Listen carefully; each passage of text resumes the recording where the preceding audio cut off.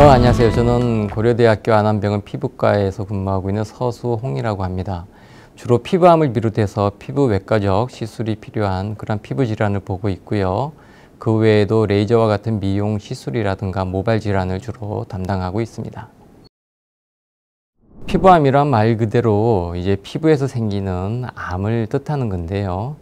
피부에도 여러 가지 세포가 있는데 그 피부암이 유래하는 그 세포 종류에 따라서 크게 나누자면은 흑색종이라고 하는 좀 나쁜 피부암과 그 외에 비흑색종성 피부암이라고 하는 비교적 예후가 양호한 그러한 피부암으로 어, 나뉠 수가 있겠습니다. 어, 오랜 시간 동안 이제 누적된 그러한 손상이 큰 요소이기 때문에 좀 연세 드신 분들에서 많이 생기죠.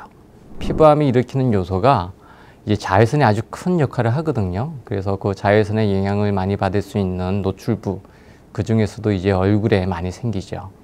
음. 어떤 통증이라든가 일상생활에 지장을 주는 그러한 증상이 별로 없어요. 그래서 방치되는 경우가 많은데 일단은 암이 가지는 특성상 크기가 자라고 또 깊이 침투하는 그런 양상을 보이고요.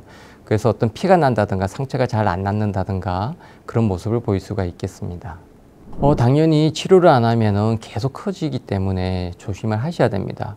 기저세포암이 대표적으로 완치율도 높고 큰 문제가 없다고 말씀드렸지만 비록 어떤 주요 장기로 전이하는 확률은 낮지만은 그냥 방치할 경우에는 계속 뚫고 들어가서 어떤 경우는 이제 그, 그 두피를 뚫고 지나가서 그 안에 는 뼈까지 침투해서 뇌까지 이제 침투되는 경우도 있거든요. 이제 흑색종 같은 경우는 어느 정도 시간이 지나게 되면은 주요 장기에 금방 전이가 됩니다. 그래서 빨리 조기 발견하셔서 치료를 받으시는 게 아주 중요한 암이라고 말씀드릴 수 있겠습니다. 어, 여러 가지 이제 암을 일으키는 요소가 있는데 그 중에서 가장 큰 요소가요 자외선입니다. 항상 이렇게 자외선에 노출돼 있다 보면은 자외선에 의한 피부 세포가 손상을 입게 되고 거기서 이제 암이 발생하게 되는 것이죠. 어, 피부암 종류가 여러 가지지만 그래도 흔히 있는 건 이제 기저세포암 그리고 평평상피세포암이 주를 이룰 텐데 그 두 가지 질환 같은 경우는 일차적인그 부위만 드러내는 수술로도 완치가 가능한 경우가 많거든요. 기저세포암 같은 경우는 거의 100%에 육박한다고 보셔도 되고요. 그 외에도 흑색종이 그나마 예후가 안 좋은 암으로 널리 알려져 있는데 그러한 흑색종 같은 경우도 조기 발견만 된다면 충분히 완치가 가능하거든요. 어, 그래서 일단 조기 발견이 아주 중요한 부분이라고 말씀드릴 수가 있겠네요. 어, 일단 한번 수술하고 나서는 재발되는 경우가 드물기 때문에 어, 뭐 크게 걱정하실 우려는 없는데요. 그래도 암이라는 특성상 어, 재발할 가능성이 있기 때문에 수술 받은 이후에도 당분간은 좀 이렇게 추적 관찰을 하시는 게 좋고 또 아까 얼굴에 피부암이 많이 생긴다고 말씀드렸는데 그 얼굴 전체가 벌써 자외선에 의해서 손상을 받은 상태이기 때문에 한 번 얼굴에 피부암이 생기신 분은 다른 부위에 또 다른 피부암이 생길 확률이 더 높습니다.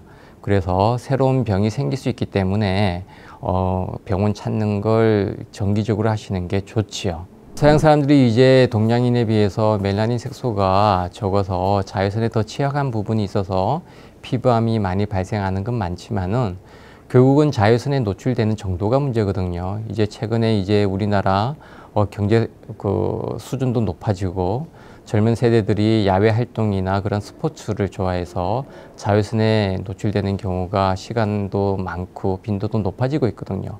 그와 더불어서 피부암이 점차 늘어난 추세는 분명합니다. 자외선을 잘 차단하시도록 일상생활에서 항상 주의를 기울이시고요.